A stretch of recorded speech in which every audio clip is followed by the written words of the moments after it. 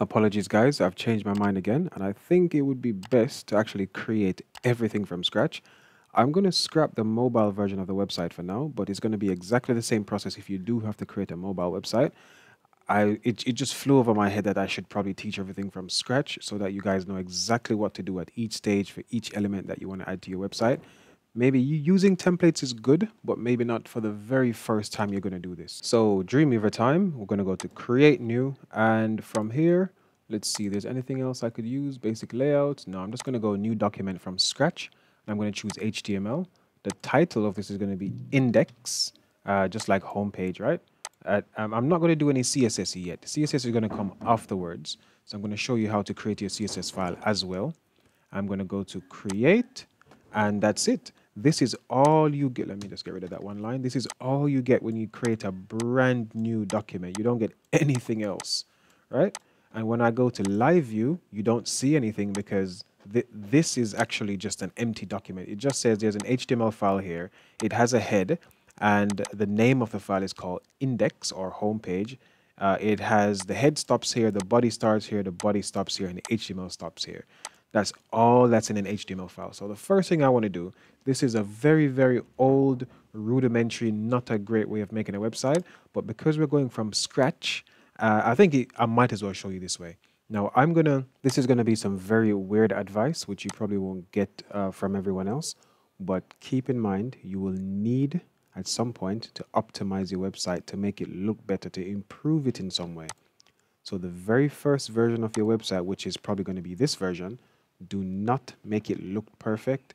Do not make it load super fast. So don't use the nice quality small images.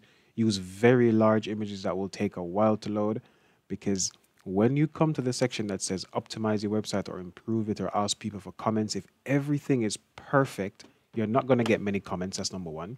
You're not going to get enough points to review to then fix your website. That's number two. So you might actually lose marks for those sections. Make your website look okay-ish, make it work, I would say. And even some elements, not every element has to work. Because when you give your website to people to test it, if some things don't work, that's something for them to comment on. This is that's a very weird way to do this, I know. But if you do it that way, you guarantee yourself getting marks later on. I'm going to leave mine in split view, as I've said, and I'm just going to put my stuff in. I'm not going to worry about um, it being lined out properly, it looking good. I'm just going to make sure everything is there. This is roughly what I said I wanted my website to look like. So let me go ahead and try, at least try to create something that looks like this first. Now again, don't make it perfect. So first thing I'm going to do is probably insert my banner. So let me go ahead and do that now.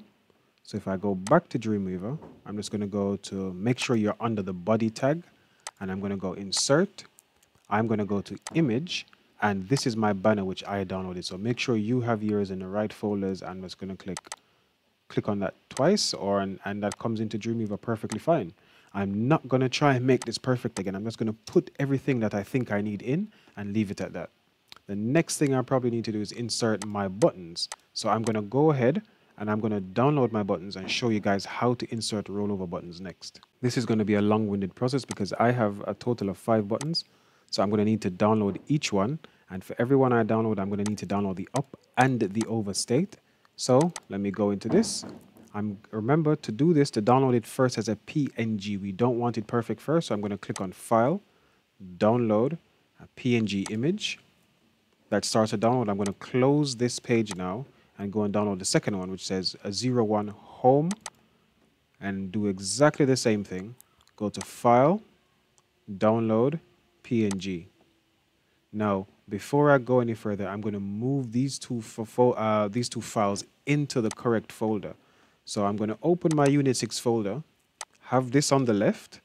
I'm going to open my downloads folder, have this on the right. And what I'm going to do is simply go into my website folders where I have images and all of that stuff. And as you can see, I've got banner here and I've got rollover here. I'm going to copy the two, the one that says up and over, home button up, home button over. Okay, I'm going to make sure it's the PNG one. So highlight these two and drag them into my rollover image folder. That's perfectly fine. Now, I'm going to show you how to do this one first, and then we can go ahead and do all the other buttons I'm going to go back to Dreamweaver. I'm going to go to insert and there should be something that says rollover. Insert HTML and it's going to be under rollover image. I just found it not too long ago. Here we go. Rollover image. Click on that and it's going to ask you to put in the name of the button. So the name of the image. I'm just going to call this one home and the original image is not the over one. So there's going to be up and there's going to be over. Over is the one which is going to be obviously rollover image. So I'm going to choose original image. So not the one for me with the line. Now you can do whatever you want. So if you've decided that your rollover is going to be the, the one that's really pretty and then it's going to go to normal, it's up to you. It really doesn't matter. So mine is going to be up. And then the other image, which is going to be the rollover image, is going to be that one. So I'm going to browse again, go to that same folder and go to where it says over and alternative text is something which we should ideally have. So this is going to be for people who are um, visually impaired. When they move their mouse over that section, they are going to have a screen reader installed on their PC and it will actually read what that says to them so they can actually select it if they need to. So it says when clicked, go to URL. I'm not going to worry about this one yet because I haven't created my other pages.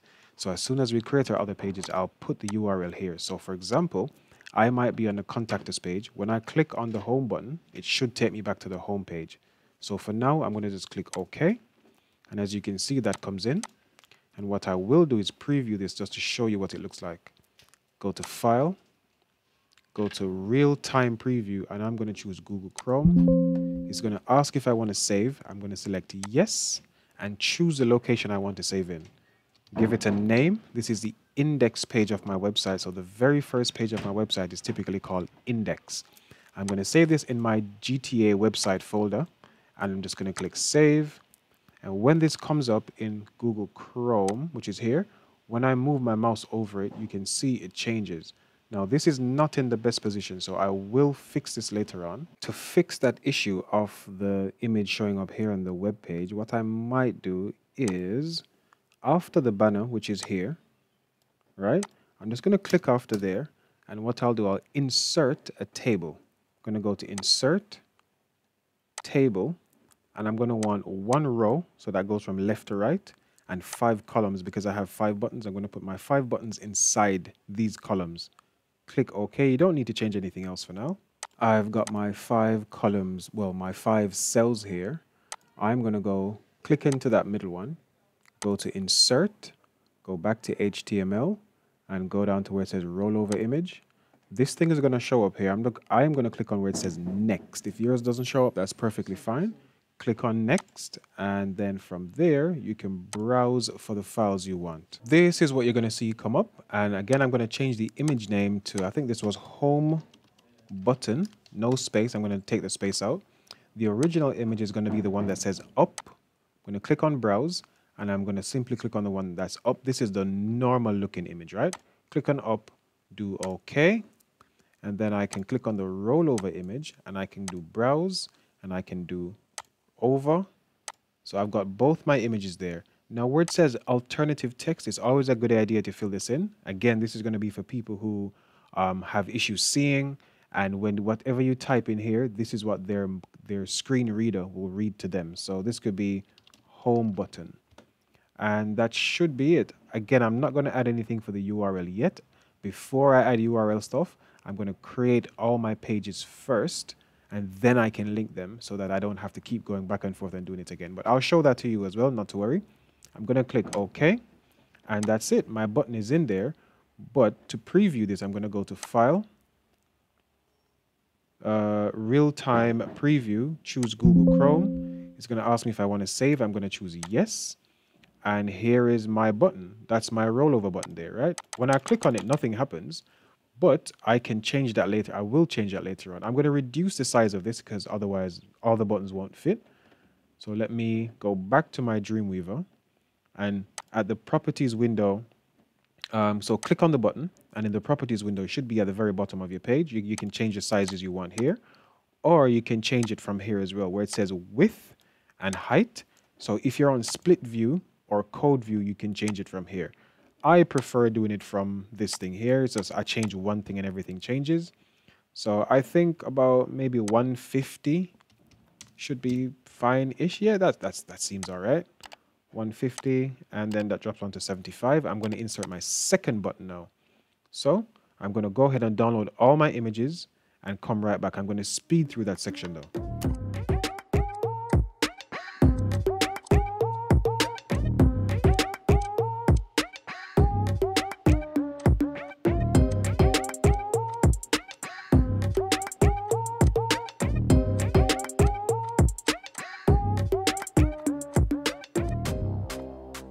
Alright, so that's it. I've downloaded all my images now. You guys have seen how this was done before anyway. I'm going to now go to my downloads folder and move everything into my website folder. My downloads folder is on the left here and my website folder is on the right. I'm going to go into images and I'm going to go to rollover, right? I'm going to copy all the button stuff that I needed for my website. So everything that says button up and over, I'm going to copy it into that folder there. Uh, I think I have contact us twice. No, that's fine.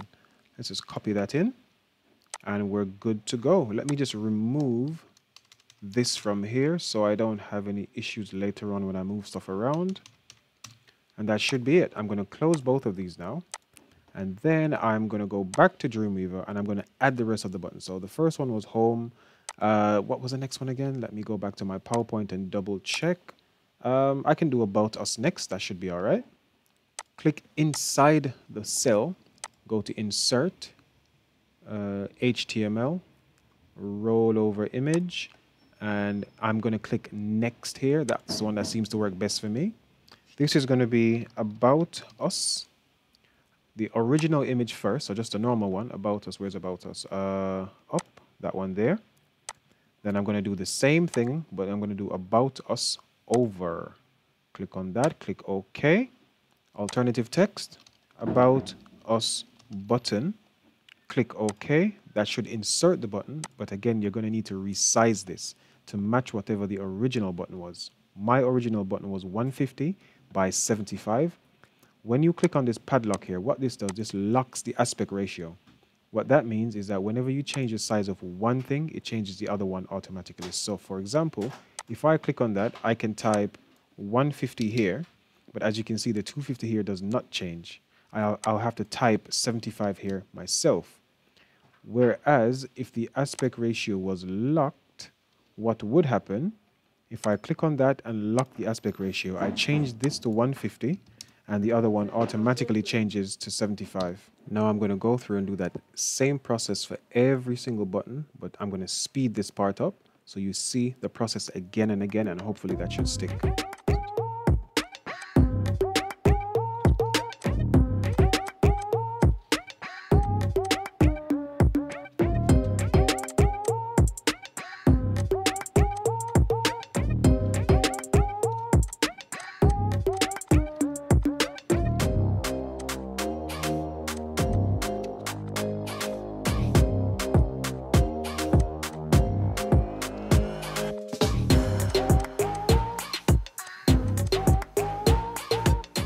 My buttons have been inserted, I'm going to go to File, Real-Time Preview, choose Google Chrome or whichever browser you're testing in, and the web page should load and your rollover images should look something like this. Now, whatever your images are, that's fine, but keep in mind you should be using the PNG images first so that when we go to optimize, we can make the website load faster, be um, smaller in general by using the JPEG images. So leave it as PNG first.